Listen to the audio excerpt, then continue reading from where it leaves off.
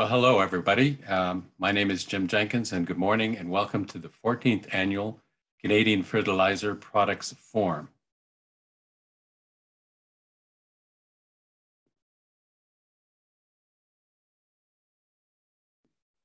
My name is Jim Jenkins, as I said, from uh, Nutrien Fertilizer, and I'm the chair of the Fertilizer Canada's Products Committee, and I'll be your moderator today, and it's my privilege to do so. I'm really excited about this event because apparently we have 220 registered guests, and I'm sure you're going to get a lot out of this presentation because we have uh, a very high level of excellence in the presenters that we're going to be uh, talking to today. So Fertilizer Canada, in joint partnership with the Canadian Food Inspection Agency and the Fertilizers and Supplement Advisory Committee, hosts this event each year to help ensure that fertilizers and supplements in Canada are globally competitive and that growers have access to new products in a timely manner.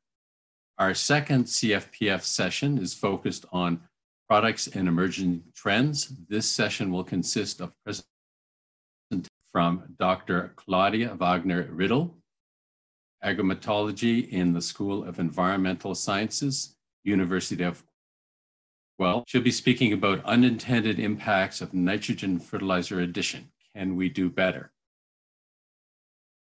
Dr. Second up will be Dr. Terry Roberts, formerly president of IPNI. He'll be speaking about biostimulants, biofertilizers, nanofertilizers. Is this really the future of the fertilizer industry. And third up, we have our guest, Greg Bartley from Pulse Canada, who will be speaking on phosphonic acid detected, are fertilizers contributing to MRL non-compliances. Throughout the session, uh, you will have our, you should see our Q&A box. There'll also be a chat box, but I asked you to put your questions into the Q&A box and at that then they'll be available for participants uh, for questions. After the presentations, I'll read off the questions to our speakers to answer. We are targeting for a 20 minute presentation from the speakers and then 10 minutes for questions. If we have additional time at the end, we'll bring everyone back and then have a big question uh, panel set for you as well. Reminder that the session today will be recorded and sent to all of you who have joined today. And if we don't get to any questions, they will be recorded and answers will be provided after the, after the timing of the forum. I want to thank you all for joining us today and a special thank you to our presenters of products and emerging trends.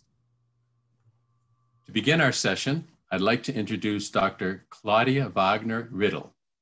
Dr. Riddle is a professor of agrometeorology in the School of Environmental Sciences, University of Guelph, Canada. Originally from Brazil, Buenos dias, senora. Claudia has degrees from the University of Sao Paulo and Guelph. She leads an internationally renowned research program using greenhouse gas emissions measurement to determine the carbon footprint of food, feed, and fuel produced by agriculture. Claudia is the executive of the Soils at Guelph and leads an NSERC Create training program on climate smart soils. She is also a fellow of the Science, Soil Science Society of America and the American Metrology Society and editor-in-chief of the international journal Agricultural and Forest Meteorology. Claudia has recently appointed, was recently appointed director of the North American Regional Chapter of the International Nitrogen Initiative and has published over 140 papers and has an H index of 39 on Google Scholar. Please welcome Dr. Virtually, that is. Please welcome Dr. Claudia Wagner Riddle. Uh, we're very happy to have you here, and away you go. Thank you very much for that introduction, Jim, and good afternoon or good morning, depending on where you are. Uh, I'm going to get right into it. So um, as uh, mentioned, the title of my presentation is shown here, the unintended impacts of nitrogen fertilizer.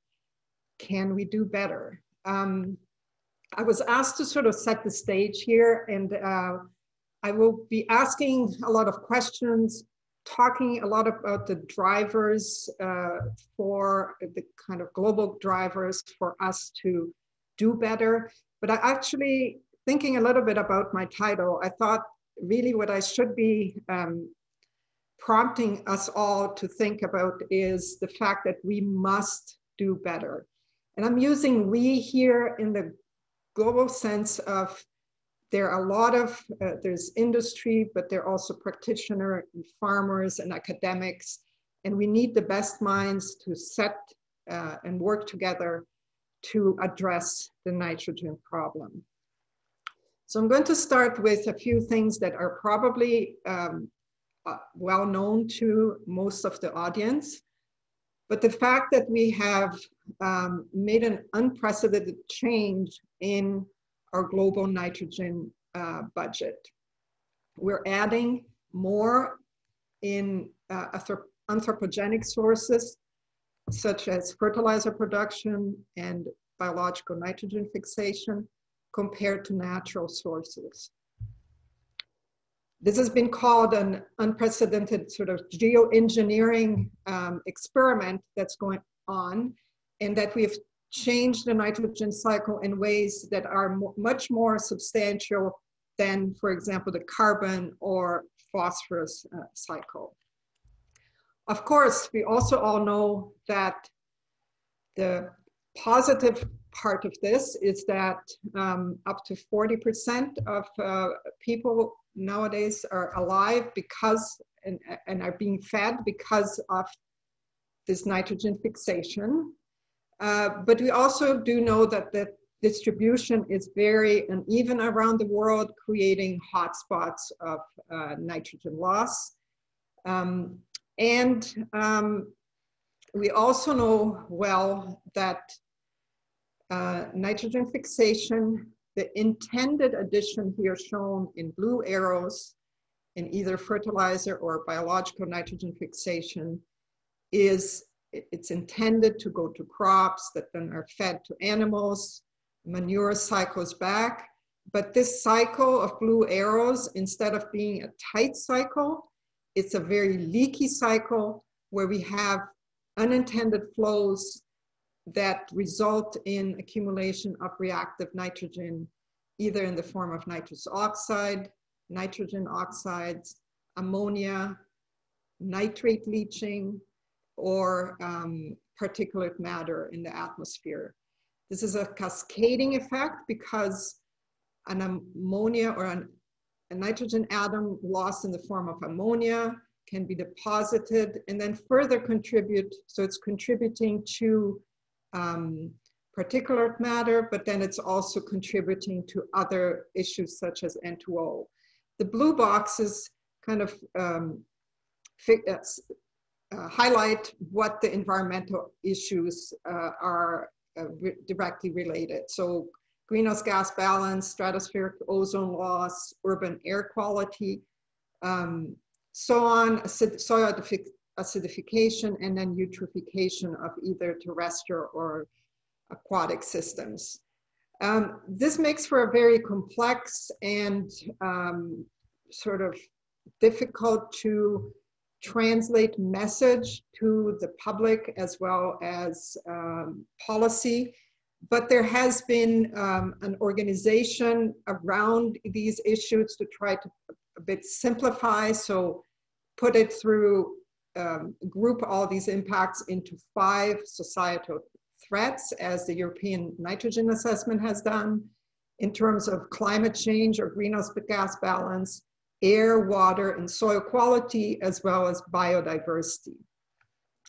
Um, the push for um, finding solution and implementing solutions at the global level has been going on for a number of years, but we can say that there has been a uh, sort of gaining of steam in the last few years um, at the, the UN level in the sense of um, creating a sustainable nitrogen uh, management resolution, uh, a declaration last year with the purpose of halving nitrogen waste by 2030. And recently, uh, a task group that is going to be looking into creating an interconvention nitrogen coordination mechanism.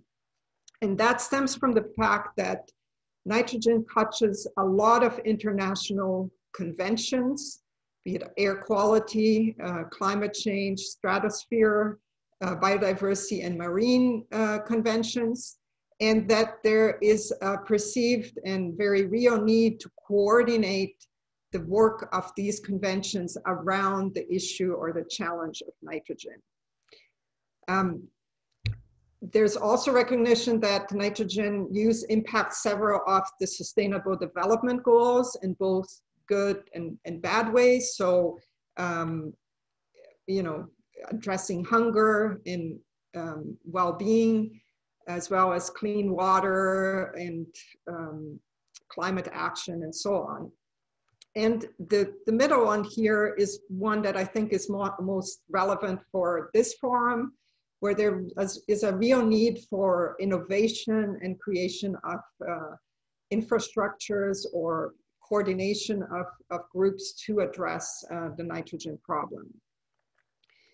So an example of this is um, a, a, recent initiative of um, US, USDA and EPA in partnership with um, TFI, IFDC, the Nature Conservancy, and the corn growers. So this is, I think, a good example how the realization that it's it's not just an industry issue, but it's an industry that uh, it's an issue that is uh, involves multifacets and that requires coordination and, and, and multi partnerships. Um,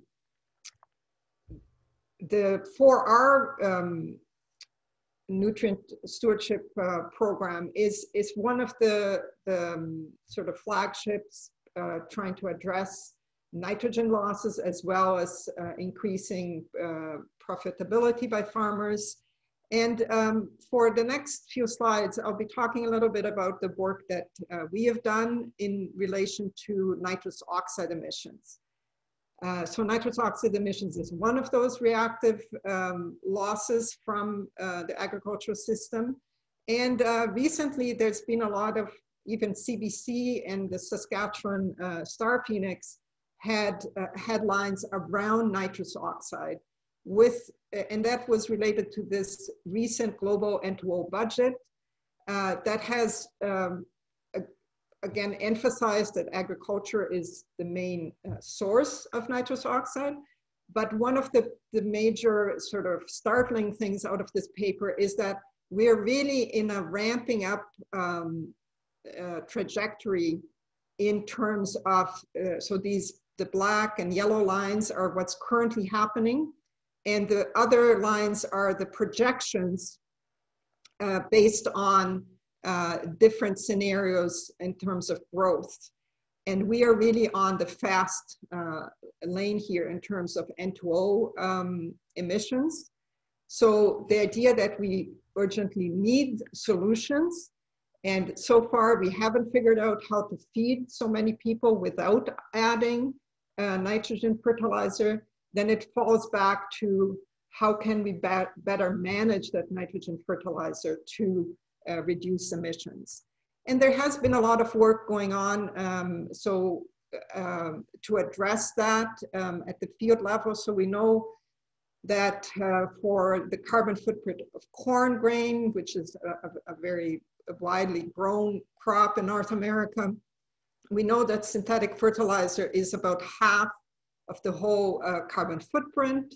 And uh, if you consider manure, it gets almost close to uh, three quarters.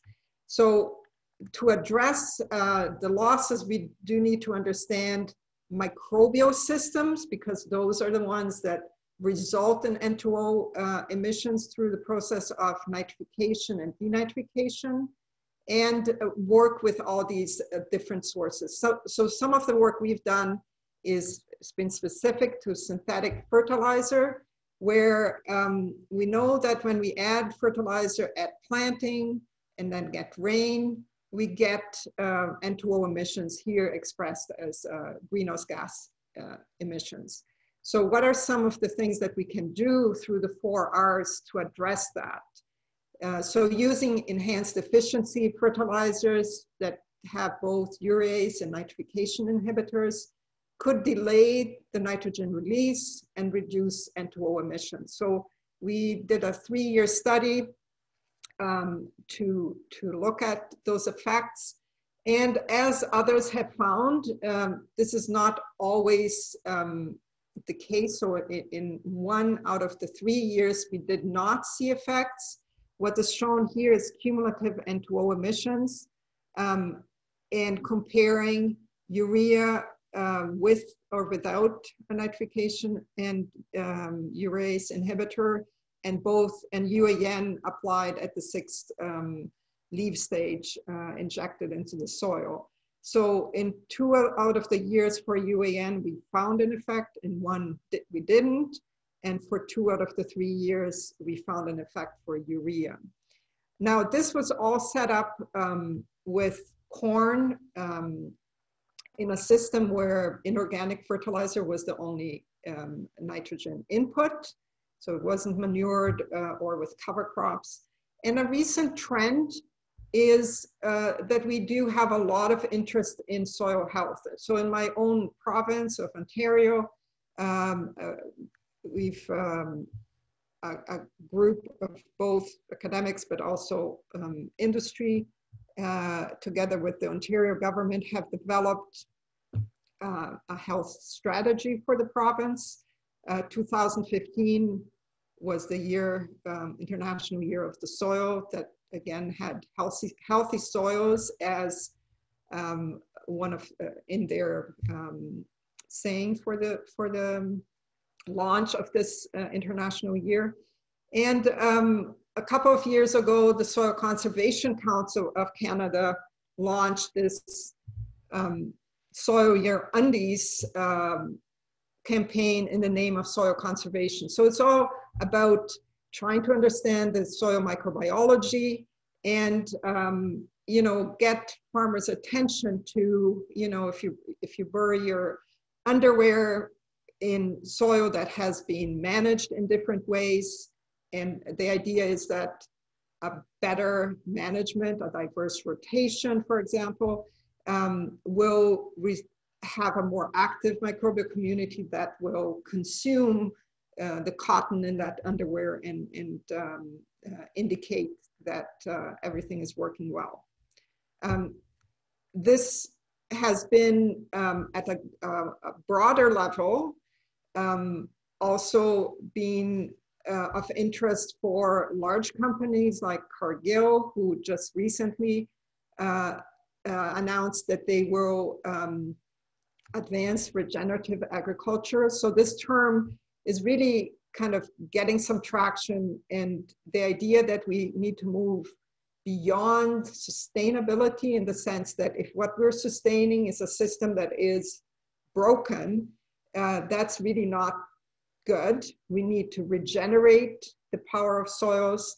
And even there's some interest in um, uh, from fi financial systems, from investors to investing in, um, in uh, practices that are not just sustainable, but regenerative.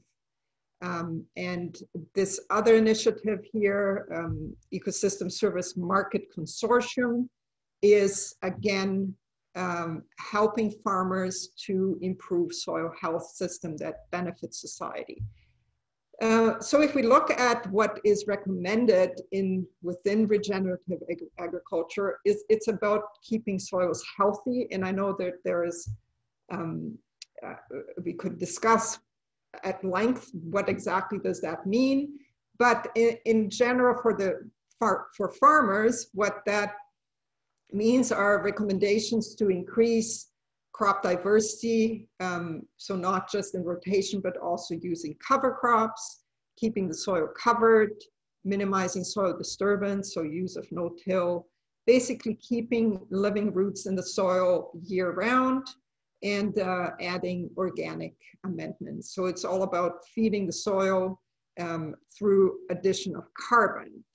So the challenge is then what are the right sources and products to manage all these nutrients holistically? And I will finish with um, uh, uh, recent example, so this is data hot off the press that we've uh, obtained or that we've measured uh, in an experiment that started in the fall last year. And um, so it's a one year of data. Uh, the three lines, um, the different colors, ignore that. Um, it's basically different um, reps in a way, we could say so. And the, these, this is after oats, after red clover, and then the control uh, th that was just wheat stubble. And um, we applied 30 kilograms of N as a starter for corn, and then 120 um, as UAN as side dress. And we can clearly see that adding cover crops, particularly le legumes, obviously, um, actually makes things worse in terms of nitrous oxide emissions. So we're working on or very interested in how could we manage um, this nitrogen a bit better. And so in this forum for emerging products, what I would like to challenge uh, our audience and all of those uh, working on developing these products is to keep in mind that we need to approach this holistically with products that work with the improvement of soil health. So um, right now, if we look at our toolbox, yes, we have nitrification inhibitors. They work most of the time. Uh, we have urease inhibitors, but can we do better? Uh, because really we, we must do better. So uh, here my main take, take home points. Um, we have all these unintended losses that have affected our water, air, and soil at an unprecedented scale. So we must do better. This is not going to go away. There are several global initiatives that um, are getting put in place that will help push for solutions. Uh, but looking at in addition of synthetic fertilizer within um, a soil health and regenerative agriculture framework is uh, what we need to do to address climate change. So I'll leave you with this question. Can we develop products that address the nitrogen challenge? And I'll finish, finish with a um, beautiful picture of our um, site uh, with corn. Thank you. Wow, thank you, Dr. Wagner-Riddle. Uh, both a complex and a critical problem to solve, no doubt. Uh, that was that was excellent, and folks, uh, we are exactly on time, which means there's uh, a goodly amount of uh, minutes left for the questions. So I'm going to go to the Q&A box. Reminder, put your questions into the Q&A box, not the chat box. And I will start reading the questions out and we'll run them for 10 minutes and then uh, move on to the next session. So first question, Tom Brucelina. Hello, Tom. In years when N2O emission is small, is it important to see efficacy in reduction? Yeah, great question, Tom. So uh, I I think uh, the short answer would be uh, no, and and that was so in one of the one of the years that we saw a, a reduction for urea was a very dry year, and um, you know you get instead of 0.3 kilo, uh, kilograms of N2O uh, per hectare per year, you get 0.1 or 0.15. So that doesn't really address the big problem. So I think we really need to target those hot moments. So those times when uh, we know losses will be will be very large. All right, thank you.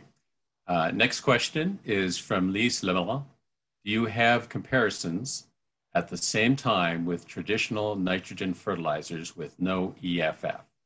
Uh, for example, uh, ammonium sulfate, urea, ammonium nitrate, and UAN.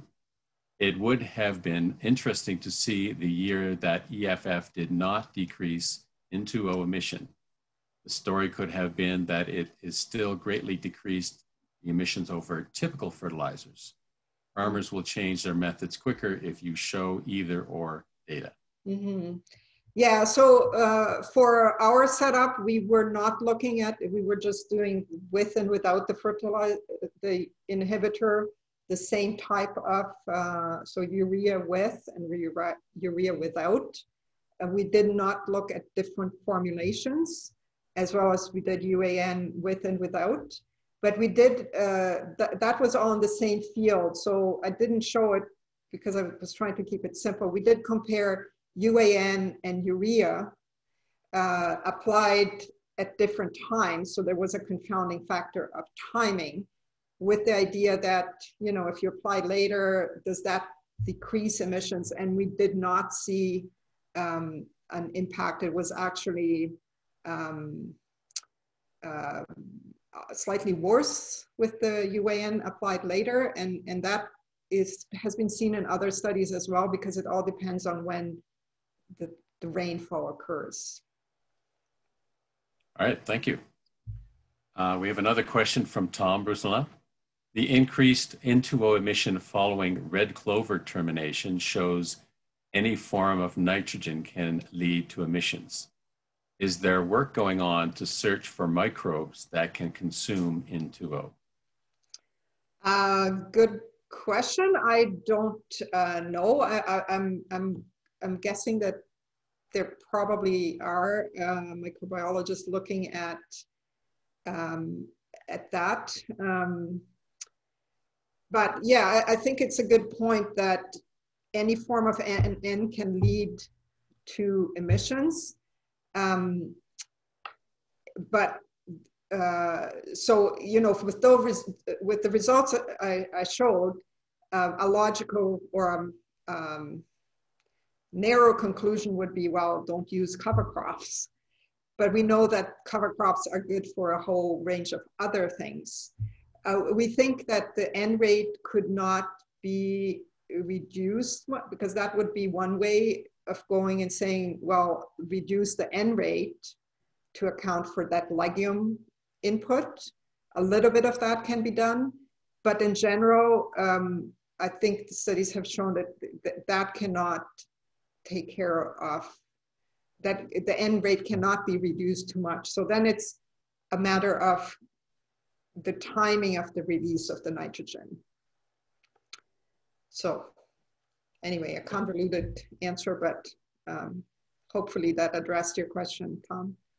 Well, and, and just a reminder that if, uh, if there are further follow-up questions, you can add them into the chat and, and we will be recording them and uh, seeking out answers after the event. So there's, there's a chance for further follow-up.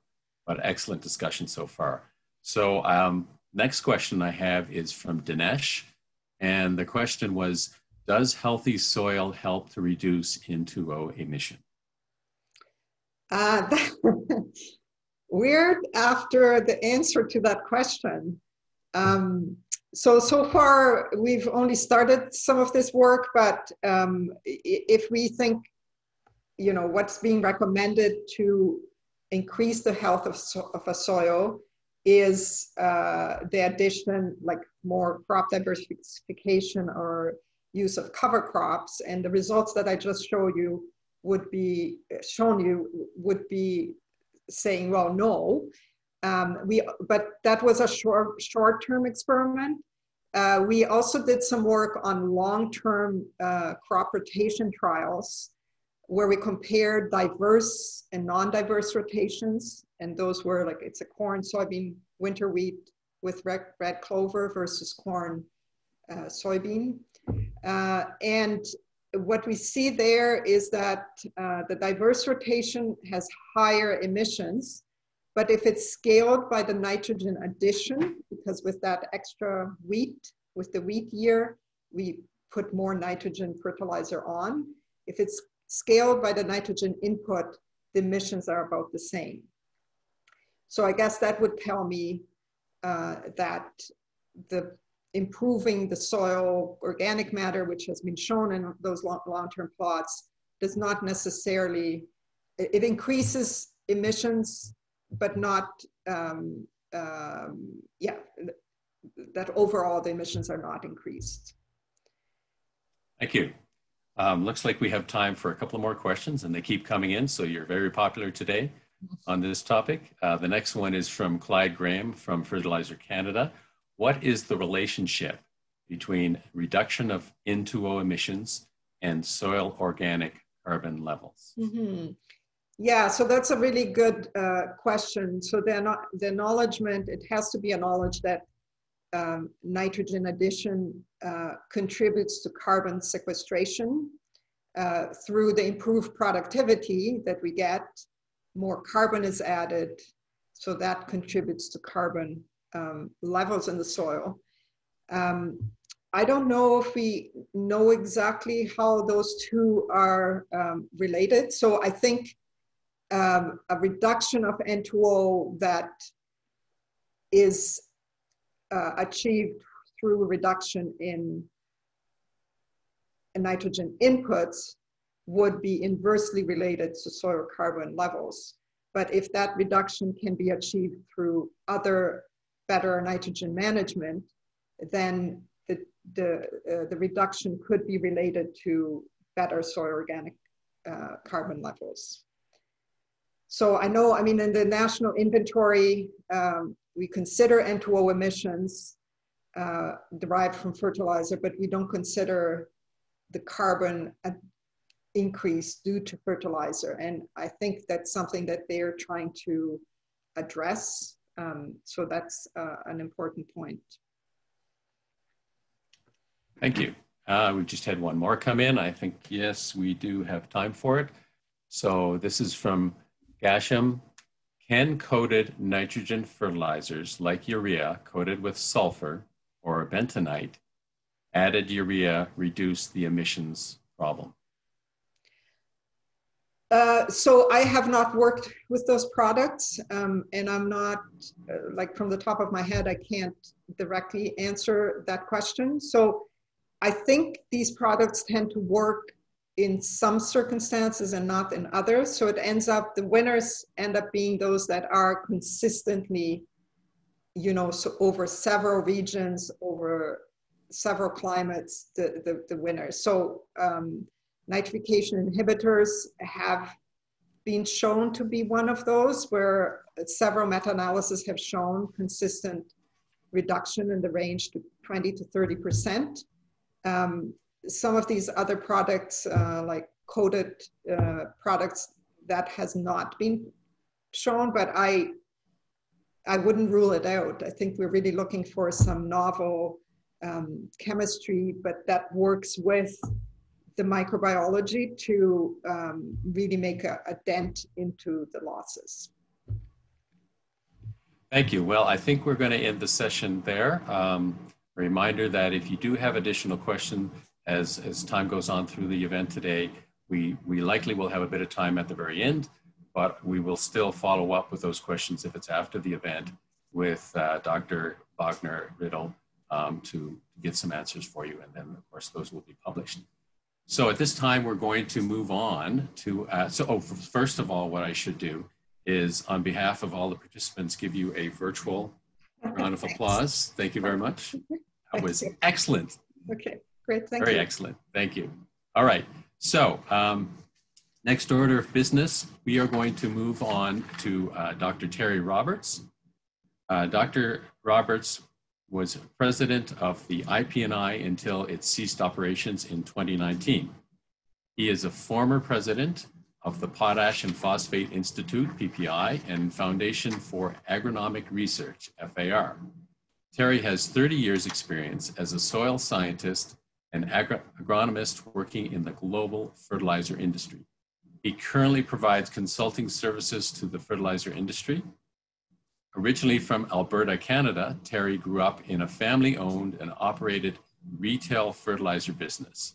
He received a BSA in crop science and a PhD in soil fertility and plant nutrition from the University of Saskatchewan. He has been a certified crop advisor since 1999, and he has been recognized as a fellow of the American Society for Agronomy in 2001, Fellow of the Soil, Science Society of America in 2017, and received ASA's Agronomic Service Award in 2013. So virtually, please welcome Dr. Terry. Uh, I know your presentation is going to be excellent today. Thank you. So thank you, Jim. Uh, I appreciate this opportunity to address this group. Um, I want to thank Fertilizer Canada for the invitation to share some thoughts uh, with you. Um, really want to share some information and some of my thoughts about, I guess, where we are now and where we're trending, heading to in the future. But before doing that, I thought it might be useful to review where we've been. And I want to look a little bit into the past. And I think everybody recognizes that since agriculture began, uh, people knew that manures and ashes and compost, those type of things, were of a benefit uh, to agriculture. But it wasn't until the 16th century that uh, alchemists laid the groundwork for chemistry as a distinct science with application in agriculture, which, which led to fertilizers. And of course, last year we separate, uh, celebrated the 350th uh, anniversary of the discovery of phosphorus. And uh, IPNI produced a special edition of Better Crops that talks about that. If you're interested, you can find that uh, online. And so really that was kind of the beginning of the fertilizer industry. In the mid 1800s, uh, Justus von Liebig spoke of mixing sulfuric acid with finely ground bones to make them more effective in supplying phosphorus. There was a recognition that bone meal uh, is, was a very useful product that people could use, but he talked about acidulating that phosphorus. And in the mid uh, mid 1800s, there was several patents uh, taken out concerning that process of acidulating bones. At the same time period, John Bennet Lawes and Joseph Henry Gilbert began experimenting in England, uh, which Excuse me, Dr. Now, Roberts. Yes. Hate to interrupt. Can you share your PowerPoint presentation, please? Oh, yes, I'm sorry. Thank you for reminding me about that. I thought it had. This is a visualization exercise for us to imagine what you're talking exercise. about. ah. Well, I hope that's a little better. Can you see my screen now, everybody? Yes. My moderator? Anyway, I, I was just talking about the history of uh, fertilizer and how that it really all began in the mid 1800s. Um, and experimental work on fertilizers began at the Rothamsted Experimental Station in 1843. And you can see a picture in the lower right-hand corner of this screen uh, showing some of the world's oldest ongoing fertility trials. And uh, a lot of those initial trials were on phosphorus fertilizer.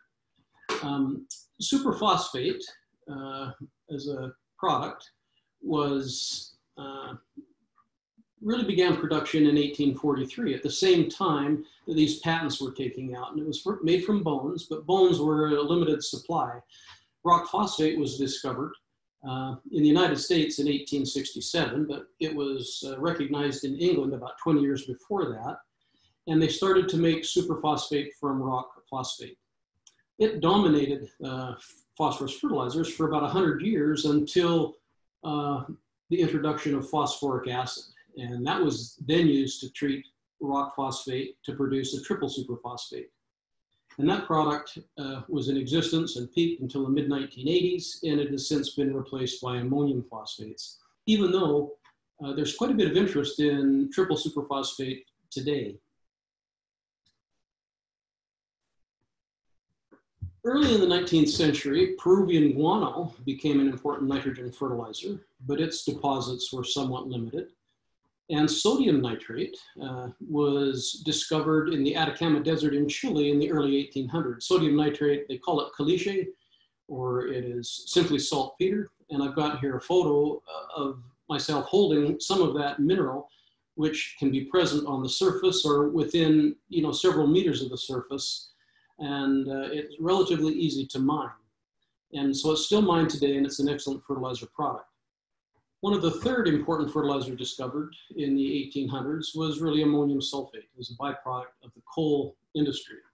And I think everybody's familiar with uh, the Haber-Bosch and that process that was discovered by uh, you know, Fritz Haber and Carl Bosch at the beginning of the Second World War to convert atmospheric nitrogen into ammonia. Um, the beginning of the First World War uh, also sort of began the beginning of potash. Uh, it was discovered in the United States, in several states as brines in the uh, beginning of the 1915s. It was discovered in Canada, um, you know, a little later, and that was an important component. The Tennessee Valley Authority was created by the US government in 1933 to control flooding in the Tennessee Valley uh, River Basin. And that uh, takes drainage water from uh, Kentucky all the way up to Virginia and North Carolina, as well as uh, Georgia and, and Tennessee. And so they were trying to control flooding, generate hydroelectricity, and also uh, it was intended to develop fertilizers. And you can see here on the screen uh, a variety of different fertilizer products that were either developed or improved or their processes improved by TVA.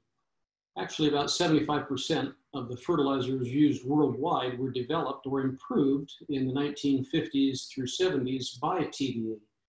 But TVA went out of business uh, in the early 1990s because of a lack of public funding. And so there really hasn't been much happening in the fertilizer industry of any really new products uh, since then. So today we have a lot of specialty fertilizers, which includes the enhanced efficiency fertilizers, which Claudia mentioned. And then we also have, and we're seeing the beginning of nanofertilizers, biofertilizers, and biostimulants. And I want to talk a little bit about those products. The development of specialty fertilizers has seen dramatic growth since uh, the year 2000, and it has a wide range of products, but these are not necessarily new products. It includes a compound or complex fertilizers, uh, secondary and micronutrients, uh, various technical grades and water-soluble products, liquids, enhanced phosphate products such as uh, Mosaic's, uh, MicroEssentials or OCPs, uh, fortified fertilizer line.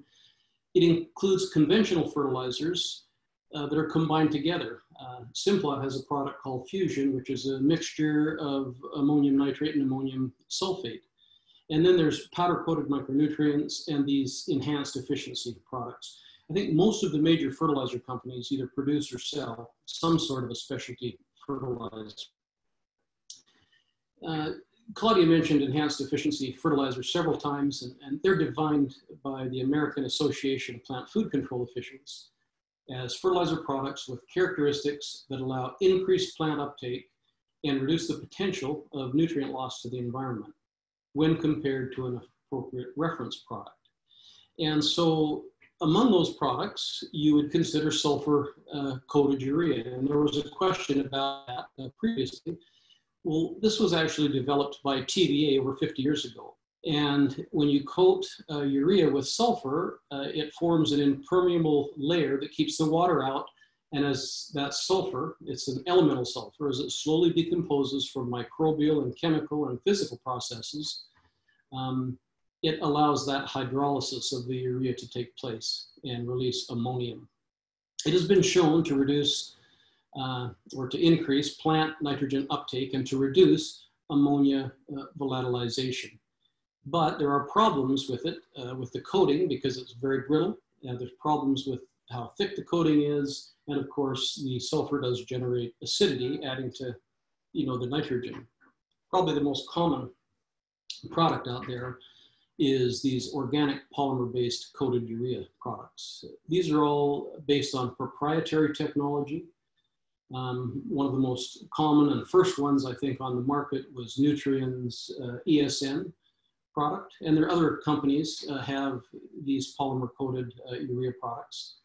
Compared to the sulfur-coated urea, these synthetic polymers tend to be more effective because of the coating on them uh, is much more easier controlled and you get better diffusion uh, of the nitrogen out of those uh, as they break down.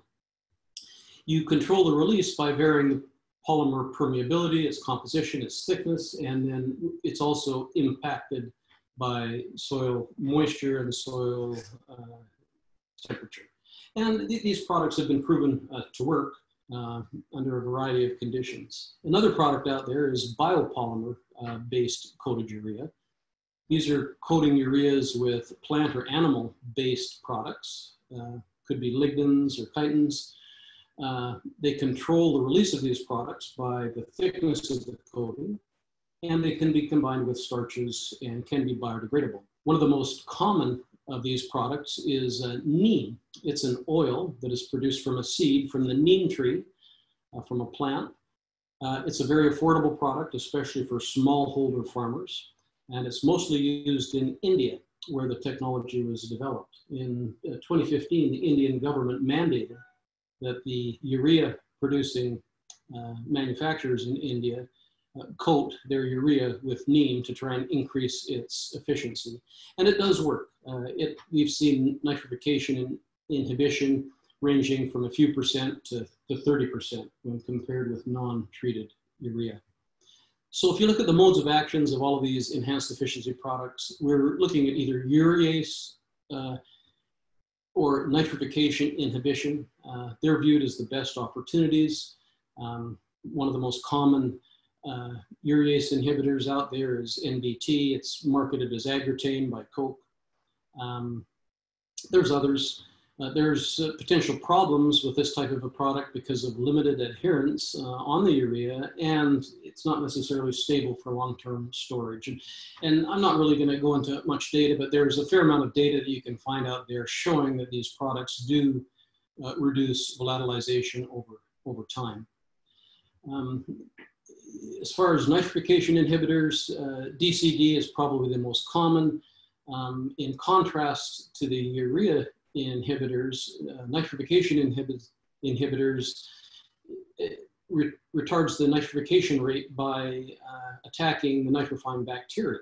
And because nitrification occurs for a long period of time, upwards of a month, whereas urea hydrolysis is relatively short, just a week or so, um, these inhibitors have to work over an extended period of time to really be effective.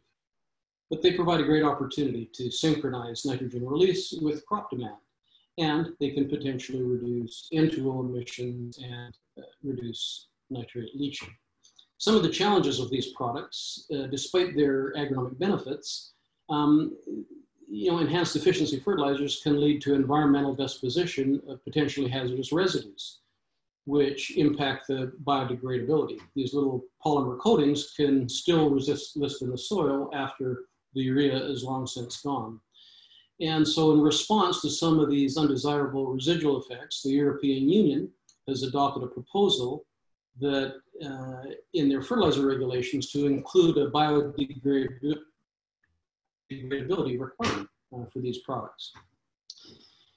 Now, looking at some of the new things that are coming, we have this whole idea of nanotechnology, and that's trying to manipulate and utilize materials at a nanoscale. Um, so those are, at a nanometer is one billionth of a meter. And so when we're talking about nanoscale, it's considered to be less than 100 nanometers. These nanoparticles are very reactive because they're so small and because they have a large surface area.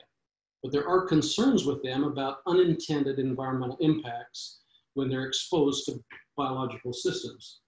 Some concerns about their phytotoxicity. Largely, these concerns are there because a lot of the initial research was done looking at them, uh, looking at their phytotoxicity, and, and really not research directed to any beneficial effects that they might have in terms of fertilizer. But that is one of the things that are hanging out there. So the technology is similar to polymer coating uh, of urea. Uh, you can reduce the size of the coating material uh, anywhere from 10 to 1,000 times. And again, because of their size, they enhance surface area and reactivity compared to bulk particles. These products do provide the potential to engineer specific prop, uh, properties to control or slow the release of nitrogen for plant uptake. There's a variety of examples of nano fertilizer products, and you can kind of read this uh, on the screen. None of these products, I will tell you right now, are mainstream products. Um, they're mainly uh, at an experimental level Um, and there's a lot of things that need to be worked out in terms of their practicality, uh, how you use them, with how farmers can conventionally use them, and the economics associated with them. There are other products out there that uh, could fall into this category, things like a polyhalite, which is a new potash fertilizer, which has been demonstrated to have some uh, ability to slow down uh, nitrogen reactions in the soil. And, and there's iron pyrites that uh, potentially have the same thing. So it, there's more than just these nano fertilizers. So as a group, enhanced efficiency fertilizers, I think they do demonstrate the ability to modify release rates of nitrogen um, through inhibition, uh, the coatings, nanotechnology, or uh, you know, fusing or, or, mixing them together with other nutrients. Um, but their performance, as always, will vary depending on your ecological, uh, your agroecological location, because there's different soils, different textures, different slopes, drainage, organic matter, pH, and of course, uh, amount of rainfall and temperature all impact uh, how these products work. One of the interesting areas that are out there is this whole idea of biofertilizers and biostimulants. And uh, this is a, a, new emergent area that there's a tremendous amount of interest in. And I borrowed this slide from Patrick Brown. Uh, Patrick Brown is a professor at UC Davis who has done a lot of work uh, on these particular products uh, of late. And it looks like this idea of biofertilizers and biostimulants, because there's a lot of overlap and similarities in how these products work, are really merging into one area. Just to give you an idea of this, the market size, here in North America, the, uh, the global biofertilizer market size was valued at somewhere between one to two billion dollars in 2019, with an expected uh, compound annual growth rate between 10 and 12% over the next five years. It's expected to get up to about $4 billion uh, globally by 2025. Um, North America, of course, is much smaller than that. And there's much greater growth right now in Europe and in uh, Asia. The growth is largely being driven by organic agriculture, uh, environmental concerns uh, about the use of fertilizers, and of course, food safety issues. If you try and understand what the definition of these products are, uh, the European Union defined, uh, defined plant uh, biostimulants as fertilizing, uh, fertilizing product, uh, the function of which is to stimulate plant nutrition processes independently of the product's nutrient content, with the sole aim of improving one or more of the following characteristics of the plant or the plant rhizosphere, such as nutrient efficiency, tolerance to abiotic stresses, quality, traits, or the availability of poorly soluble nutrients in the soil or rhizosphere. And so the Europeans have adopted some formal definitions. In the United States, uh, this whole issue has not yet been resolved. Uh, the 2018 Farm Bill uh, did make an attempt at trying to come up with a definition of these products. Um, but right now, there is no legal definition of what a biofertilizer uh, is. And so that's still uh, to be determined. Um, if you look at the uh, industry itself, there's great interest in biologicals. And over the next uh, several years, we're going to see more and more interest. There's been quite a few uh, mergers of, or alliances between large crop production companies and small biological companies or startups in terms of R&D, uh, commercial agreements, and we are expecting that there will be more in the future. The challenge with biologicals is they follow a legacy of skepticism. Uh, there's been too many underdeveloped products were launched in the last 20 years. And the new product, uh, the new generation of products really need to do what they claim they can do. And they make some amazing claims. And so uh, it is an interesting area. They have some challenges and some limitations. One, you're dealing with a very complex interactions in the rhizosphere and every plant depends on how it interacts with these biologicals in order to survive and thrive. Now, there's no broad spectrum of activity, so each of these products needs to have a very good ID profile of what they might do. They have to be efficiently fermented and formulated to be commercially viable. They have to be economic. and they need to be kept alive in packages during the treatment process, whether it's on the seed itself or in the soil, and they have to be compatible with other biologicals that are out there. So you have this age-old question, are these products simply snake oils that can cure all, or do they offer real critical benefits to agriculture? And um, I, I think even though there's an attitude of the snake oil side of this business, I think is still prevailing out there, these products do offer some critical benefits to agriculture. Um, and they will continue to. These aren't really new products. Um, you know, we used to talk about inoculants uh, as products containing living microorganisms, whether they're bacteria or fungi.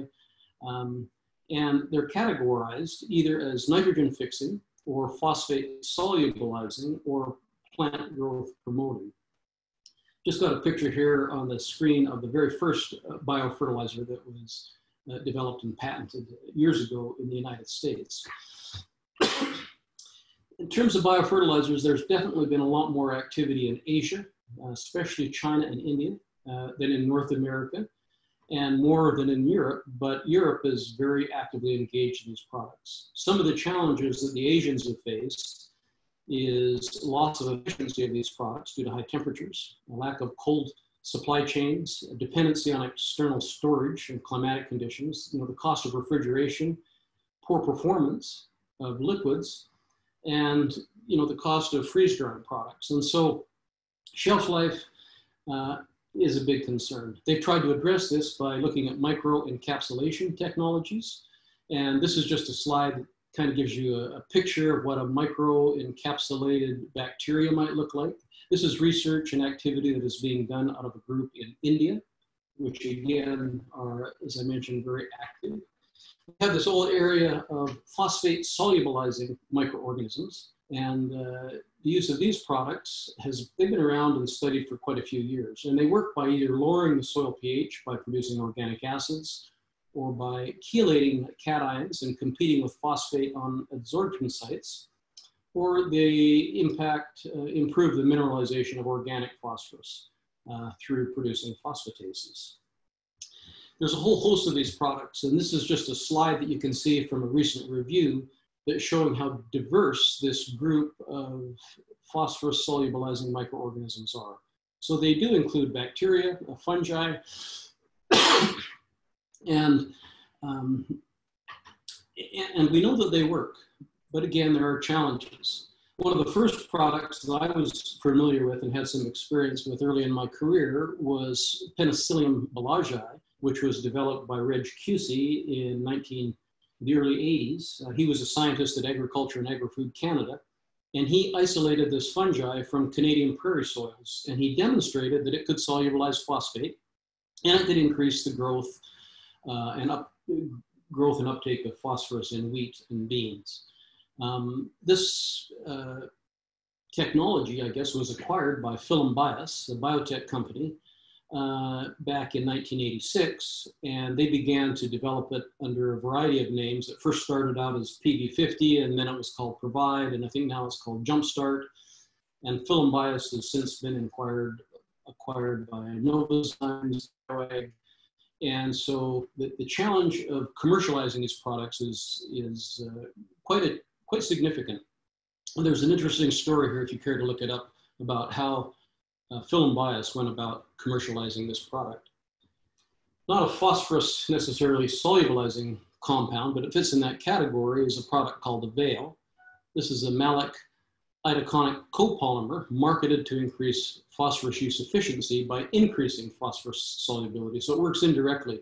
And according to the label, it's designed to sequester antagonistic metals in the soil surrounding the fertilizer granules to reduce the type of phosphorus to make it more available to the plant. Um, studies do support this mode of action, but they, they don't agree. And this is a fairly controversial product. Um, recently, a couple of years ago, uh, a meta-analysis of all of the field work that had been done on that was completed, and it really showed that you could get about a 2% yield increase. But as you went through the meta-analysis, uh, the authors of that uh, found out that only uh, you know, 116 of the observations of all of these field trials were actually done on low soil test phosphorus conditions or other conditions where you might expect a phosphorus response. And so as they took some of this other data out, they could increase the, uh, you know, the results of positive yields upwards of 6%.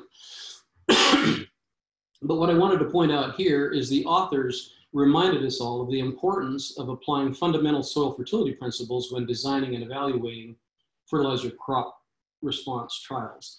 And in my mind, that has been one of the big challenges with a lot of these biofertilizer products is applying this principle to as to them as they're trying to do the research on them.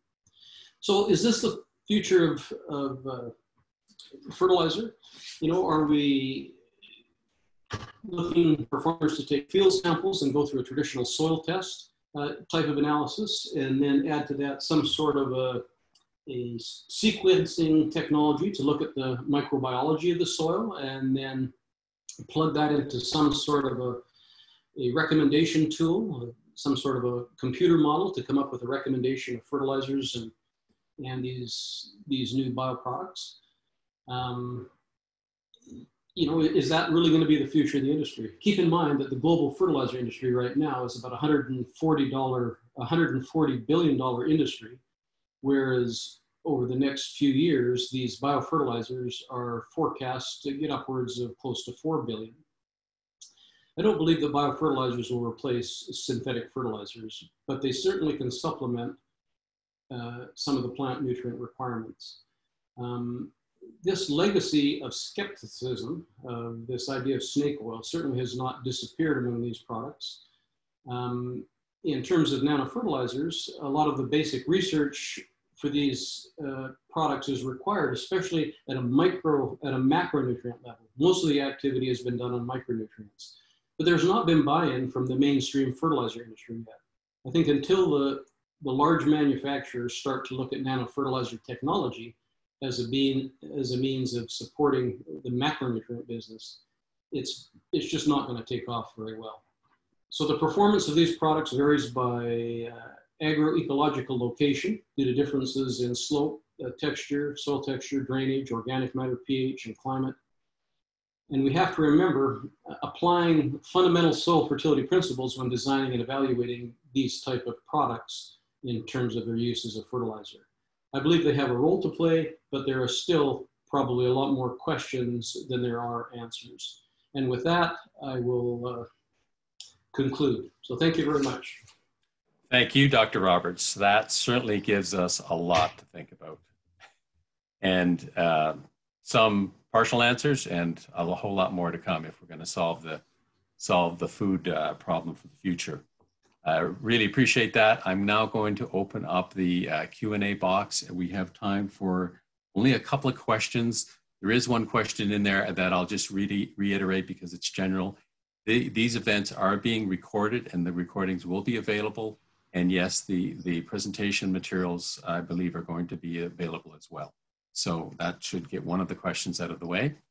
Um, one of the first questions that came in, I think related to the earlier part of your of your presentation was uh, what are the uses of defoamer in P2O5 manufacture?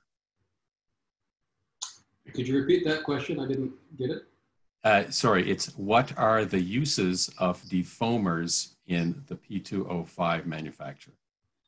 Yeah, I mean, defoamers are part of that engineering process that are used in a variety of fertilizer manufacturing activities, and I think it it uh, how, how well they work or where they would be applied really would depend along the early stages of when you're taking the rock and you're crushing it and you're trying to prepare it to go through a processing plant. I'm not a chemical engineer and it's certainly not my area of expertise. Um, I know there's a role to play, but I'm not the right guy to answer that question. Okay, um, I'm going to take a question from Eva Made from the CFIA, the terminology of specialty fertilizers used in the regulatory context is very different than what was provided in the presentation, which of course was the, the US uh, definition. How, if at all, can we reconcile these differences? Yeah, this whole question of terminology um, is an interesting one when you travel around the world. And especially fertilizers, um, there's always a definition of these products, and then there's what the public thinks or what those in the industry, how they apply them. And, um, you know, enhanced efficiency fertilizers is officially defined, I think, here in North America. Uh, it is not necessarily defined in Europe or in Asia. And so uh, I think we need to be aware that there's more generic definitions versus official definitions that are put into regulations which apply to the fertilizers. And so I know that there's differences. Um, that is an area that does need work, especially globally. There isn't a consensus, uh, I think, from one country to another necessarily. And so a lot of the larger countries, European Union and, and the United States do have an opportunity to provide some leadership uh, in those areas, but uh, that is an issue correctly identified. Okay, I'm going to squeeze one more question in, and the ones that we can't get to now, hopefully we have time at the very end of the session when all the presenters will be on a panel. There are a number of new products on the market with low rates of NBPT compared to market standards. How would farmers and or agronomists know what rate of NBPT will be effective? Yeah, I mean that they don't know. And the only way that you're going to find that out is to conduct some of your own on-farm research or get researchers to do it. And again, that question illustrates part of the challenge with a lot of these new biofertilizers. We don't know how effectively they work under the right conditions. We know that there's great potential, but as all agronomic practices, they have to be used within the right context, within the right farming system and the cropping system that that particular grower is using. Well, thank you, Dr. Roberts. You've certainly given us a lot to think about. Uh, it's a complicated world out there and it's not getting any easier. Uh, but we really appreciate that information and I give you our virtual event round of applause. Thank you very much for attending because I understand you're in a little bit of environmental plight where you are in, in your part of the world right now with storms and whatnot. So we appreciate your, your ability to make it. Um, okay, at this time, folks, I'm going to move on to our third presenter, and that would be Greg Bartley, who is the Director of Crop Protection and Crop Quality at Pulse Canada. Uh, Greg is an, an, an, MSc in Plant Science from the University of Manitoba and is a certif certified crop advisor. At Pulse Canada, Greg works to ensure the Canadian pulse industry benefits from access to affordable crop protection products through minor use registration and adoption of import tolerances and MRLs, the focus of this discussion today, in the global marketplace.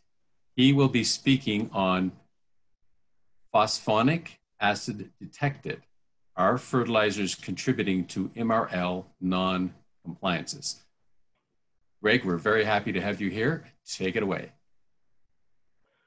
Perfect. Thank you for that introduction. And, and thank you to everyone here uh, for joining this presentation. Um, really happy to be presenting this, this type of presentation to this audience. Um, I recognize that this is likely a bit of a, a, different type of presentation that maybe you're used to when we start to talk about MRLs, especially related to fertilizer products. But um, bear with me. I'll definitely make the connection throughout the presentation of, of why I'm here today and, and hopefully uh, how you may be able to help me uh, after, after this presentation. So.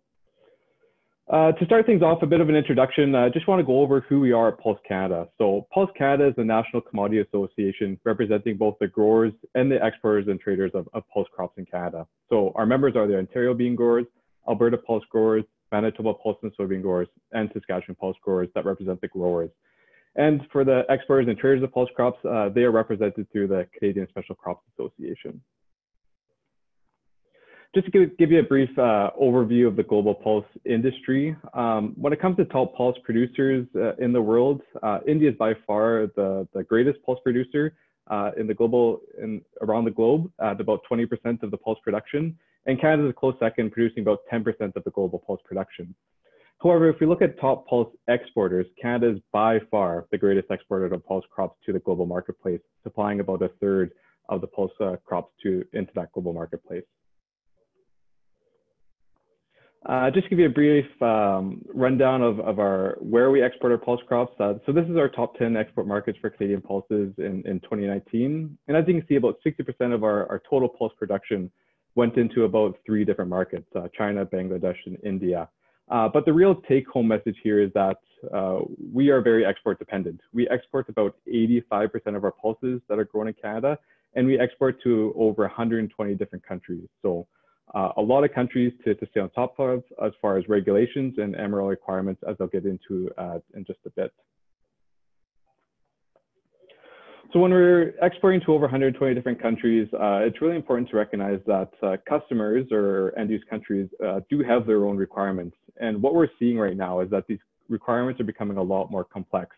You know, Canada is very um, in a very good place as far as trade. We do have a lot of free trade agreements with other other countries, and, and this is very beneficial. However, I'd say over the past number of years, we are seeing a rise in what we call non-tariff trade barriers, uh, and there's certain aspects um, that that implicate farmers uh, when we see an increase in non-tariff trade barriers. So all these countries have the ability to, to regulate uh, food to protect plant, animal, human, environmental health. Uh, they're, they're, they have that right and ability. However, we'd really like to see that uh, these regulations are based on sound science and are in line with WTO obligations uh, when they are making these regulations. So certain things that we are paying close attention to at, at Pulse Canada and other national commodity associations are things like pesticides and their residues or MRLs, uh, seed technology such as biotechnology, plant diseases like blackleg and fusarium, and uh, weed seeds is obviously becoming a much more uh, problem, a greater problem as well.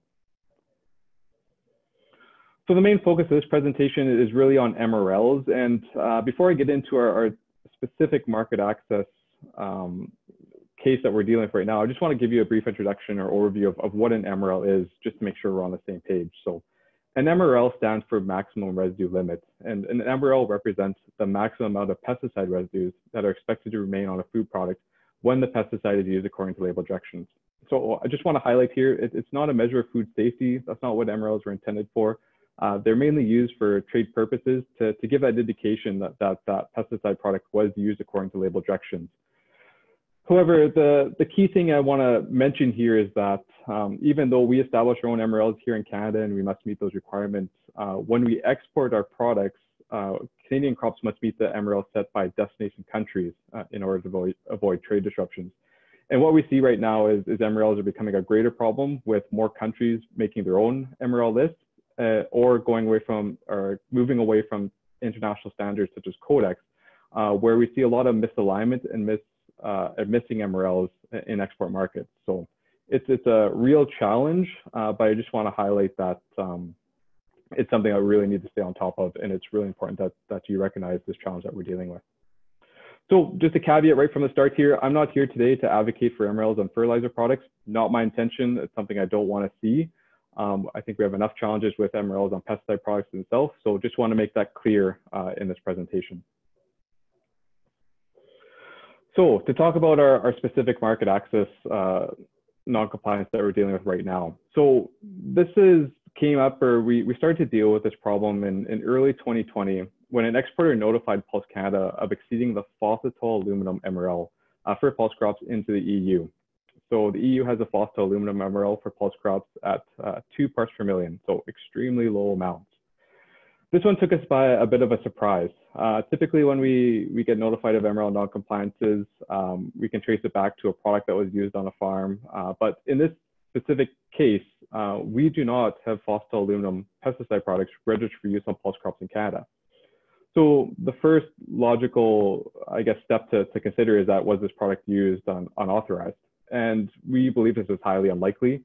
Um, I'll touch a bit more on why I think about that in a bit.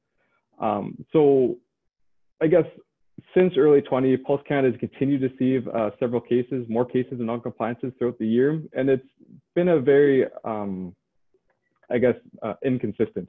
You know, it's, it's, different provinces that have been impacted, different exporters, and, and a few different pulse types. So it, it's really taken us by surprise and, and, a little concerning of, of where this trend is going. So to, to help understand this, uh, we're really asking ourselves, where is this coming from? Why are we seeing the fosetyl aluminum MRL when we, we're not using these products? And we'll start off by just getting digging into a bit more of what fosetyl aluminum is. So fosetyl aluminum is a fungicide product that's registered for use on turf and horticulture crops in Canada. So these are things like vegetables, fruits, ornamentals, turf, tobacco, ginseng. Um, as you can see, this is a very different industry than our, our grains and oilseeds uh, type production uh, in Canada. Uh, so it's, it's highly unlikely that farmers are, are using this product un unauthorized, uh, just due to the fact that they likely don't even have access to this product in their warehouses or, or on their farm. As I say, that the hort and turf industries are very different than grain and oilseed production. Um, the next thing to highlight here is, is the residue definitions for fosetyl aluminum. Uh, so in Canada, when we test for, for residues and to see if we're compliant with MRLs, uh, Canada only tests for fosetyl itself. Uh, it's the parent company, that's all they're testing for to determine if it's compliant or not. However, the European Union, uh, their residue defini definition is a bit more expanded than just fosetyl. Uh, their residue definition is the sum of fosetyl plus phosphonic, phosphonic acid and salts. Uh, the reason why they've included phosphonic acids in the residue definition is that phosphonic acid is a degradation product of fosetyl aluminum. So as you can see, fosetyl aluminum breaks down into fosetyl and fosetyl breaks down into phosphonic acid. And, and what we've been told is that this degradation of fosetyl to phosphonic acid happens very fast. So this is the main justification of, of why it's included in that residue definition, uh, just because typically if you can't test for that parent company, uh, if it breaks down really fast, uh, they usually like to include phosphonic acids or that degradation product uh, to, to determine compliance. I just want to say right now, this is a very poor residue definition. Um, I imagine a, a, few of you on, on uh, in the audience uh, recognize that phosphonic acids uh, are very well persistent in the environment. there's many potential sources of phosphonic acids than just fosetyl aluminum. So what I want to highlight here is that the detection of phosphonic acid does not actually give us a good indication that fosetyl aluminum was used. And in my view, uh, it should not be included in the MRL definition, but here we are. So uh, just to highlight here, uh, I'm switching now to, instead of focusing on fosetyl aluminum, this is where I'm going to switch to our attention to phosphonic acids. Uh, now that we recognize that this is actually the issue of phosphonic acids rather than fosetyl aluminum itself. So what is what is phosphonic acid? Uh, this is something I ask myself every day as we continue to deal with it, and uh, I'm sure as you go through this presentation, you recognize that I'm, I'm still trying to help answer this question. So, to my understanding, uh, phosphonic acids uh, are a broad category of organic phosphorus compounds, also known as the phosphonates. Um, they're both natural and manufactured sources, uh, and these uses include uh, both agriculture and medicine. Um, in nature, uh, we can find phosphonic acids that are both commonly found in the soil and aquatic environments. Uh, to my knowledge, they're, they're quite water soluble and, and quite persistent in the environment too. So they don't break down very easily. So they can be found in, in water sources or soils for, for several years is my understanding. As far as manufactured sources, uh, there's many potential for, for phosphonic acids. So things like fertilizers, pesticide products, uh, water conditioners, plant health products, uh, just to name a few uh, examples of where you might be able to find some of these products. Now, I just want to take a time out here and, and recognize that uh, we're not the first ones that have dealt with this one. Um, I just want to highlight uh, two other industries that have been impacted by this issue and where we can focus on to, to help search for, for answers of, of what, uh, for the reason behind this issue. So first one I want to highlight is that the EU organic industry has been heavily impacted uh, by this phosphonic acid uh, MRL requirement. Um, however, they're kind of in a similar position where they're scratching their head and asking where is this coming from. So within the organic industry, uh, fosetyl aluminum or phosphate fertilizer, pro fertilizer products are not approved uses in the organic industry. You know, these are synthetic products and, and do not meet those organic requirements. Uh, so it's still unclear to them where these residues are coming from.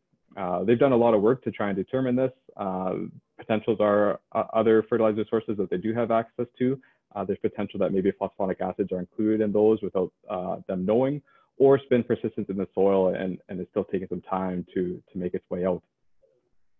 The US tree nut industry is another one that's been heavily impacted by this, but uh, they've had a little more success in, in, finding a solution and actually resolving this issue for themselves. So what the US tree nut industry found is that uh, phosphate products were actually commonly used uh, by some of their growers. Uh, so this is, they highlighted that potassium phosphates and similar products were, were being used and do contribute to phosphonic acids. Uh, and they mentioned that uh, it, it's a lot of micronutrient products uh, or fungicide products have the potential as well. So phosphates are attached to, to certain micronutrient products, or they're using the, the phosphate product as a fungicide, fungicide, as phosphates do have fungicidal activity for some phytophthora control.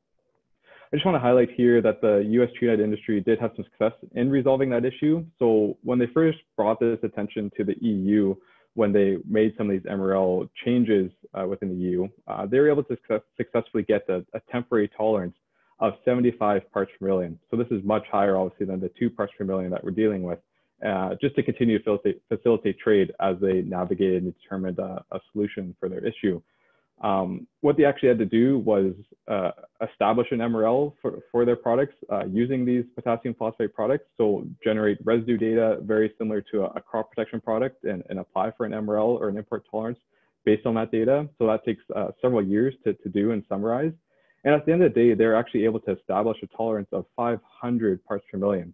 So in terms of MRLs, this is extremely high value and just gives the indication of, of you know, how persistent uh, phosphonic acids can appear on certain crops, but also gives the indication that uh, this really isn't a food safety type issue. Uh, we're not really concerned that that is causing a food safety issue uh, because these tolerances are so high and shown to be safe.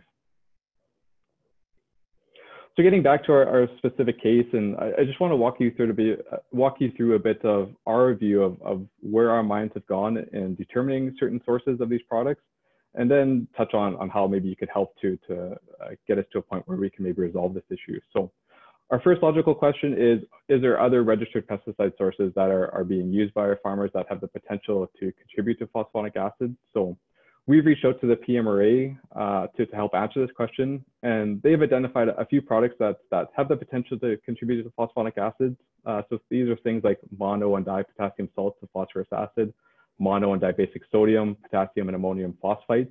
Uh, these products do have that potential to contribute to phosphonic acids. However, none of these products are also registered for use on pulse or grain crops and unlikely to come from rotational crops. So recognizing that if it's applied to a, a crop that it is registered in, it's very unlikely that a pulse crop would follow that and uh, get phosphonic acids uh, into that grain. So we're fairly confident that phosphonic acid residues are, are not coming from a crop protection source, uh, but obviously some still more work to be done to, to make sure we rule, out, rule this out officially. So attention uh, goes to fertilizer sources next. Next, um, obviously, we, we've done a lot of digging into the issue and, and knowing that the EU organic industry has experienced this, the, the US tree uh, industry has experienced this, and, and a lot of the fact sheets and, and resources indicate that fertilizer is the most likely source of phosphonic acids. Um, however, a lot of these resources have very little attention on, on soil applied fertilizers, or spring applied fertilizers. So when we talk to a lot of our growers to help understand the, the agronomic practices that they're doing on their farms to get an indication of maybe a, a product that might be contributing to it, um, in many cases, their, their only fertilizer use is a spring applied fertilizer, very typical uh, and nothing surprising. So that, that's going to be one of my questions is, is, what is the potential for some of these spring applied fertilizers to contribute to phosphonic acids? Uh, that is something I, I, would really like to know. Um, if you dig into a lot of these fact sheets and, and resources, uh, they often identify foliar fertilizer products um, as, a, as a more potential or greater potential as a source of phosphonic acid residues. So understanding this, uh, we were actually able to, to find a product that one of our growers was using. So just in one case where a, a foliar fertilizer product was used, and after confirming that residues were detected on that product and reaching out to that product manufacturer, they, they, did, they did give us indication that phosphates were actually included in that formulation. So after reaching out, explaining that this is actually contributing to an MRL uh, issue, they were indicated that they were able to reformulate that product and it should no longer be an issue. So we view that as a good thing. You know, we found a product, but um, the more we started asking questions and and realized is that product actually shouldn't have been on the market to begin with. So I just want to highlight the, the CFIA position on phosphate and phosphorous acid uh, products and, and the current regulations uh, for these types of products uh, through a position by the CFIA. So the CFIA actually indicates that uh, for phosphate materials, uh, when they're sold as a, as a fertilizer only source or a nutrient source, uh, they actually do not meet the definition of a plant nutrient and thus a fertilizer. Uh, this is due to phosphates actually having a, a phosphorus thing, uh, limiting uh, ability in the plant. So under low phosphorus uh, conditions, they could actually starve the plant of phosphorus and, and do not provide any benefit. Um, so the only way for a phosphate type product to, to possibly be registered here, here in Canada and used is if it's uh, sold in combination with a plant available nutrient and registered as a, as a fertilizer pesticide and has to be registered through the, the PMRA under the uh, Pest Control Products Act. And that would have MRL and, and residue data go along with it. So um, just want to highlight that here today is that there is a CFIA position on phosphate and phosphorous acid uh, products, and it's, it's really important to, to recognize uh, this. So Pulse Canada is, continuing to do a lot of work to try and determine where the sources of these residues come from. So I, I indicated, but I just want to formally mention that uh, we have surveyed uh, a few growers to identify uh, any products that may be contributing to phosphonic acid residues. Uh, so this is looking at their full agronomic practices or trying to get an indication of, of everything that they're doing for, for that current crop year, but also looking uh, to that previous crop as well. And we're asking for information on fertilizer use, crop protection products, uh, any plant health products are being used, um, how they're storing their crop, uh, things like this. And something to highlight here too is that uh, this previous year, actually a common denominator in, in all the cases that we, we found was that uh, stress growing conditions were, were often highlighted. So the, the crop went through a drought phase at some point. Um, now, obviously, correlation doesn't does not equal causation. So I'm not saying that these stress conditions is, is the cause of why we're uh, seeing phosphonic acid residues, but uh, I think it's something to, to not ignore and as we try and navigate the, the full source of these residues. Uh, we also have a project that's currently underway to determine the, the prevalence of phosphonic acid residues on our pulse crops. So, you know, we don't have any MRL requirements for, for phosphonic acids here in Canada. So we actually have no indication of, you know, how widespread this, this could potentially be. So with that, uh, it, it's a little concerning not knowing that type of information, but uh, we're doing what we can to to get sources of, of farm samples to do some testing just to see was this a couple one-off cases or is this a much, a much bigger problem or potential problem than, than maybe we're aware of. So to kind of wrap things up a bit, uh, I just want to pose a few questions uh, as far as how, how you can help, how this audience can help in the fertilizer industry to, to help navigate this, this issue that we're currently dealing with and, and hopefully provide uh, some assistance to, to uh, look for a solution. So the first thing I just want you to be aware of is that the EU has MRL requirements for phosphonic acid. Uh, so this would be any crop being exported into the EU. Um, so even though we don't have phosphonic acid uh, residue requirements here in Canada or the US, uh, the EU does. And as I mentioned earlier, when we talk about MRLs, it's not the MRLs of our, our domestic country, it's the MRLs of the importing country that we really have to pay attention to and have to meet when we export our products. So really important to recognize this. Um, just want to highlight again to, to, follow that CFA guidance for phosphate products. So um, uh, make sure it is being registered uh, under the PCPA if that's where it uh, needs to be registered. Um, if you're aware of a product that does contain uh, contribute to phosphonic acids, uh, please contact me. I would really love to know about it. And, and this isn't to, to, crack down or anything. Uh, we really need to do get a, a, good handle on what types of products may be contributing to this so we can help resolve this issue. You know, it, it's really, as I mentioned, we are an export dependent um, uh, commodity like all grain and oilseed crops here in Canada, and it's, it's really important to protect uh, this market access. If you have the capacity to test for your product for phosphonic acids, uh, please do so. You know, if you're questioning yourself and wondering, hmm, I, am not sure if our product might contain it or not, um, if you have that capacity to test it, uh, that would be extremely helpful. And finally, if you have the technical expertise that may help in greater understanding this issue uh, related to phosphonic acids, uh, how it might persist in the soil or, or water or potential sources, um, I, I, would love to connect with you and, and that would be greatly appreciated because uh, uh, this is out of my wheelhouse and I would really appreciate that assistance. So with that, uh, here's my contact information. Uh, please give me a call, uh, send me an email, whatever you like to do. If you do have some information that would, would help us in this case. And uh, I really appreciate the, the time today and the opportunity to, to bring this forward. Thank you very much, Greg. Um, that's quite a problem. That's uh, perplexing for uh, downstream downstream partners in the supply chain and and interesting because I represent the, I guess the the product manufacturer and selling through to the retail end. And so um, I'm going to take that question back and see if I can uh, get a discussion going inside within Nutrien. Thank you very much for that presentation. We're now going to open up the uh, session to Q&A. We've got some uh, time to ask a number of questions and get some answers. And I'm going to start with Jeff Crampton. his question is How does phosphonic acid differ from phosphoric acid? You know, that's a question I keep asking myself too. Um, it's, it's quite a technical problem, and I, I believe there are differences. Uh, so phosphorus acid, to my knowledge, uh, does not contribute to this problem. But again, really reaching out to the technical expertise in this audience to, to help answer some of these questions, as, as that is something I would love to better understand too. Okay, thank you. Uh, next question is from Gasham. Is there the same consideration and regulations for registering fertilizers as those for pesticides in Canada? Like, for example, is a six pack toxicity report required? Again, I'd like to pose this question to the technical expertise, but to, to my understanding, uh, CFA does uh, ensure that the products are, are safe for use, uh, both for the environment and health, uh, to my knowledge.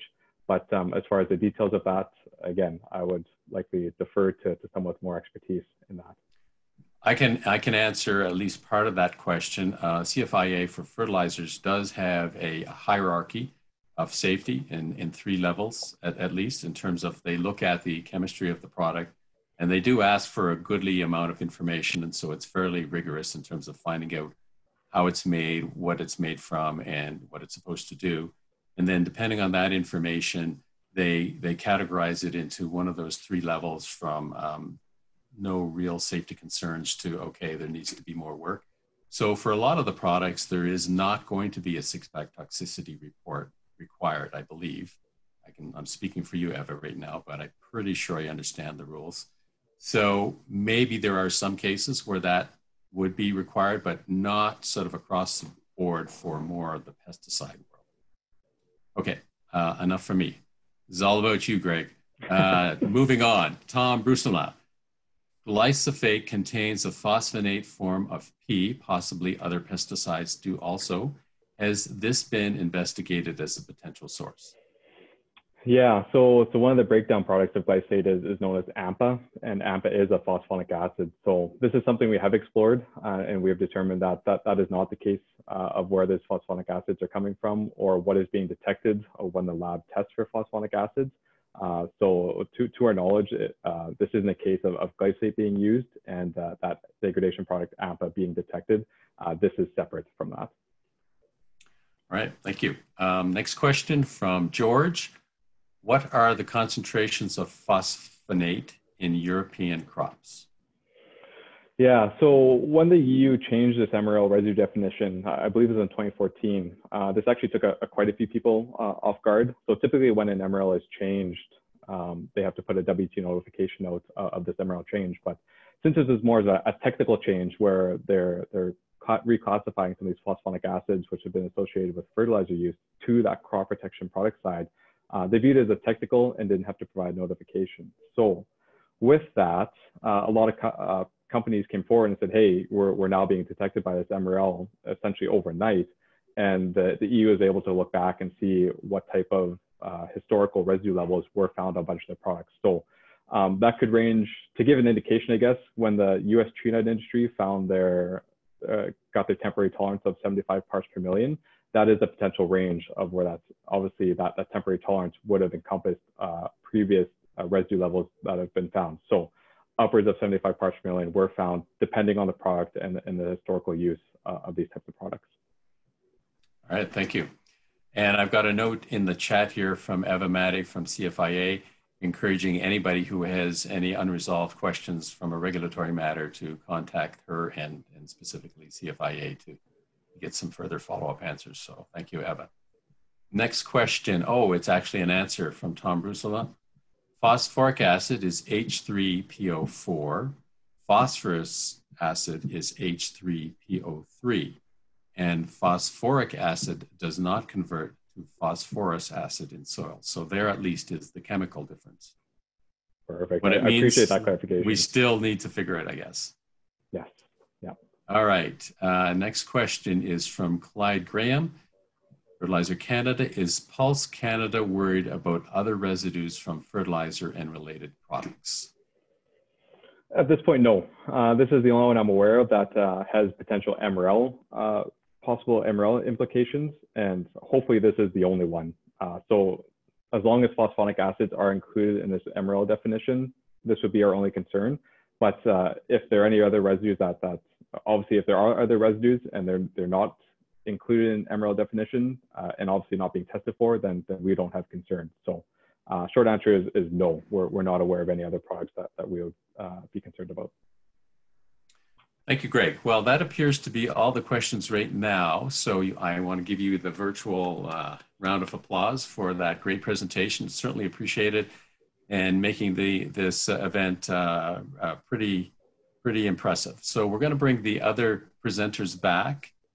And this is sort of a bit of a panel situation. We've got uh, probably, oh, we've got a fair amount of time that we can devote to questions. This is a two hour event. And if uh, my, my time tracking serves me right, uh, we, we can go as late as 12.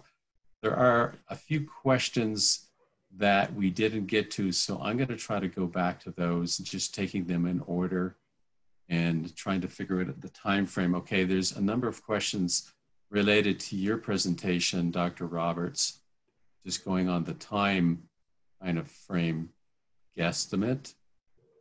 Um, let me just find those questions. Okay, we asked, um, okay, a question from, this is one for you, uh, Dr. Roberts, from an anonymous attendee. At one to two billion US dollar market for biofertilizers globally, do you have any idea of what the North American market would be? Yeah, it, it's hard to put your finger on the fertilizer markets of these things. Uh, if you search online, there's a variety of market uh, analyst type firms that provide different estimates. And I've seen estimates, for example, in 2019, 2020, I've seen estimates of the US biofertilizer market ranging from 470 million to 2, 2 billion. And um, you know, so they're all over the place. And so I, I tend to believe it's more closer to the $500 million uh, right now, and it has the potential to double over the next five or six years. Uh, everybody that looks at these things tries to make a direct correlation to organic agriculture and the acres of organic agriculture. That's where they feel that these products will have the biggest uh, potential impact. And so I don't think anybody really knows what it is, but it is growing as the organic market continues to grow. Thank you. Next question is from, again, for you, Dr. Roberts, uh, from Clyde Graham. Is there a need for better guidelines, standards, et cetera, for product efficacy field trials? Yeah, that's an interesting question. I, I don't know that we need better guidelines because I think the researchers certainly know how to test uh, these types of products and conduct good, valid field research. Um, and the academic community and you know others know how to do that. I think part of the challenge is a lot of these companies that are developing these products don't have that expertise. Um, these a lot of times some of these startups and these new biological companies that I'm aware of they might have good microbiology expertise, but they don't understand the fertilizer. They have had no experience doing basic fertility trials. And I think that's where the problem lies is they're not working collaboratively with those that know how to do that type of research and activity uh, in an agriculture setting. Uh, you know, and they're marketing these products. They want to market them as fertilizers, so they, I think they have to work in that world. And and I don't think that there's a lot of that yet. And so as we see some of the bigger fertilizer manufacturers getting involved, I think we'll see some improvements in that area. But I don't think that there's a need for more regulations about how you do these types of basic fertility trials and efficacy trials on these, these products. They're complicated because they're bio, microbiology and uh, that's impacted by a lot of things. It's not the same as you know, doing a trial with a phosphate or a nitrogen fertilizer, there's much more control, I think, and predictability there. Sort of a more of a moving target. Yeah. All right, I see. Thank you. Uh, now we're going to switch back to Greg. I see we have a question from our friend Daniel, uh, and this is a long one, so I'll try to speak clearly. Not sure if I got all the issue, but the analysis in the EU is part of their problem because of the H3PO3 being included. This should never be included in their assessment unless they are also using the actual mineralized aluminum within the crop. The nut industry, including their risk assessment to increase the MRL, was most appropriate, and the same should be done for the pulse crops. Just my comment. So, not sure there's a question in there, but uh, I guess yeah. he's asking, do I understand this properly? Yeah, no, that, that's a great take on the on the problem and uh, summarize it really well. You know, this really is due to uh, the poor MRL definition and the inclusion of phosphonic acids when in our opinion, in my opinion, and in Canada's opinion as well, is that uh, phosphonic acid should never be included in that residue definition. Um, you mentioned the nut industry and including it, in their risk assessment and essentially generating residue data to, to apply for an import tolerance like a crop protection product. And ideally, you know, the pulse industry would like to do this. The challenge that we, we currently have right now is we, we haven't identified that, that product or source of those residues. So we, we can't go through that process until we actually know what may be contributing to it. Uh, so it makes it a little challenging, I guess, right now to, to navigate that. So this is why I'm here today and, and maybe exposing this, this issue a little more than typically I'd like to, to do, especially when it's still an ongoing issue, uh, is to, to help identify where those potential sources can come from so we can help nail down uh, what really is going on uh, with this issue. All right, thank you. So now, I guess since we have everybody back, uh, there's a general question from Clyde Graham. What advice would the presenters give to farmers trying to navigate these new product offerings that we've been speaking about? Anyone want to tackle that one? yeah, I'll I'll start. I, I, think farmers need to be cautious uh, with a lot of these new products. Um, they need to pay attention to the claims that are made um, and see if that seems reasonable to them. Um, farmers know how urea works or anhydrous ammonia. They know how, you know, MAP or DAP work, and they know the type of yield responses they get. When they're adding, uh, using some of these new products at a much smaller application rate, it's hard to measure what impact you're, you're going to have. And so I think the farmers need to be prepared to do some of their own on-farm research or to work with their advisor, their CCA, or someone that can help them really measure if these products are doing what they claim. Uh, it's been my experience with a lot of these products that they're sold by a lot of testimonials um, without a lot of hard data uh, to back it up. And that just takes a lot of research. I, I mentioned the challenge with the Avail there's been you know over 500 trials put out with that Avail product that it's still a controversial product.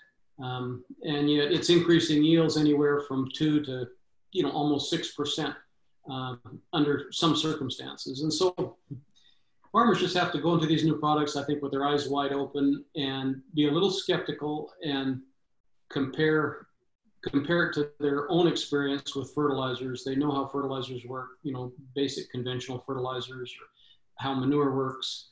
Uh, but I, they're worth looking at. You know, we can't discard them. I just think you have to be careful because they're expensive products, and uh, you want to make sure you're achieving what the, they tell you they're going to achieve when you use them. And I, I, think that leads in very well to what you were speaking about, uh, Dr. Wagner, in terms of we need to be doing something because the nitrogen equation is not going in the right direction. Any anything further to add? Um, yeah, well, I, I think it, it's the challenge, and I was really interested in Dr. Roberts' presentation to hear what is out there because I'm not um, familiar with all the newest uh, developments. And it seems like there are a lot of ideas out there, but we don't know yet if they work, right? So there is a need for um, a really concerted effort uh, to to try to find some of those products that have uh, a potential to work and, and help us address the issues we're, we're facing. So. Thank you. And, and Greg, I would sum up your presentation. Basically, uh, you know, what I took uh, from it as a main point is is at your part in the supply chain that you represent, you see some issues and and the the level of technical knowledge and support that may be there. It's a, it's a matter of trying to access that a little bit better to solve problems. And so, really, what strikes me in all these presentations in terms of coming together, you know, we have some problems. We have some climate change problems, and we have specific um, residue type problems, and we have new product verification type problems. And so, really, really, what comes to mind for me is the level of collaboration, you know, with experts in one area working maybe in another or with people in another area is really maybe another element of the solution here because I've heard um, strong indications of a lot of knowledge um, in, in very various places. And how do we leverage that knowledge better to solve these on a bigger scale? Seems to be seems to be the big takeaway for me at least. Definitely. Yeah, I would agree with that for sure. And and also just highlight too that we're we're likely in a, a spot where we are seeing agriculture production systems uh, potentially changing. You know, I think there's a lot of requests, and we're seeing that uh, end use requirements are potentially driving what we want to do more than maybe we would like. And it, it's really important to, to recognize where some of these trends are going uh, to try to stay ahead of the curve, but also reinforce current practice that we're currently doing, uh, you know, the good things that we are doing uh, to make sure that, that uh, it is recognized as well. So. Thank you. So before I let everyone go, um, in case there's one more question that uh, needs to speak, uh, squeak in, I, we've got time. I'm just going to cover a few reminders. The information in these presentations will be made available. The, the uh, presentation, so the, the live event has been recorded, and I believe that recordings are going to be made available to everyone as well. I think this was an excellent event. You know, we've sort of adapted to COVID, and I think uh, a lot more people are getting a lot more out of it than a face to face meeting. And so this is, in my mind, excellent. Also, remind people that if you would like to collect continuing education units or CEU credits for this session, apparently there is a QR code available, or you can email Allison Watcher and she will help you out with that. As well, I'd also like to thank Kevin Jack, who's behind the scenes there from WeStream, making sure that all us presenters and moderators are pushing the right buttons and doing the right things and so that this runs seamlessly. And i'm happy to say i think it was highly successful. So round of virtual applause for you too kevin. And the other unsung hero in all of this is allison watcher um, quietly behind the scenes making sure we're where we need to be doing what we need to be doing and working out all the logistics so allison you most certainly get a virtual round of applause as well. I, I really appreciate the presenter's time and everyone else that made this happen. And I do have one more question, so uh, I guess my talking is, is useful. Uh, about when, okay, let me just find these questions. Um, okay, so a direct plea Dr. Roberts, may I have your presentation? so that's from Gasham, and I think the answer is yes, the presentations are going to be available. Can you show the QR code one more second? So um, I think, is that something you can do, Allison, or maybe uh, Kevin? Because I don't believe I have the QR code. Yep, I'll throw that up in a second. Okay, fair enough. And let me just switch because I see there's a couple of things in the chat. Um, Great presentations. Thanks for the excellent session. So we're getting, now it's switched from questions to getting some very uh, positive uh, feedback from, from the attendees. And we still have quite a few people hanging. So once again, folks, I'd really like to thank you for this event. I think you've made it a fantastic learning exp experience. Oh, do I have one more? Yes, okay more congratulations. Fantastic presentation. So I think we pulled it off, folks. And I want to thank you as the moderator. It truly has been a privilege to be a part of this. And um, thank you. And remind you that we have additional sessions coming up. I believe the next one is next week on the, um, yes, okay, so we can bring that up. Yes, there it is. So we have the microbiomes November 5th, another two hour session. We have CFIA, I guess we'll have to call it, a virtual day on November 17th from 11 to 2.30 Eastern Time. And then we have the uh, FSAC organizations uh, session on November 19th, and you can register for those items. All right, I think we're ready for the QR code. I want to thank everybody. It's been, it's been a great experience for me as well. Thank you all. Great, thank you. Thank you.